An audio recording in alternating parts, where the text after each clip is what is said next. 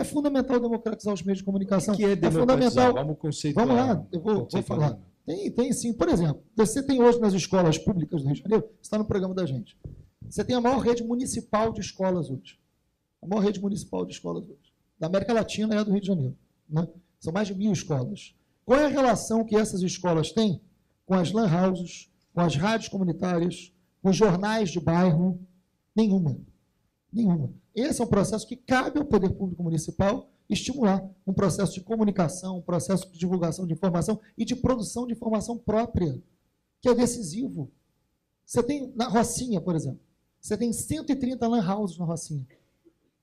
Né? Você tem rádio comunitária, você tem TV comunitária. Por que, que o poder público municipal não dialoga com esses setores e produz a informação que pode haver na Rocinha, mudando, inclusive, toda a relação dos moradores com o próprio território? Isso é decisivo. Esse é um debate fundamental de democracia. Cabe, está dentro do alcance do poder público municipal. Agora, tem muita gente que não interessa, né? A ignorância alimenta muitos interesses também. Né?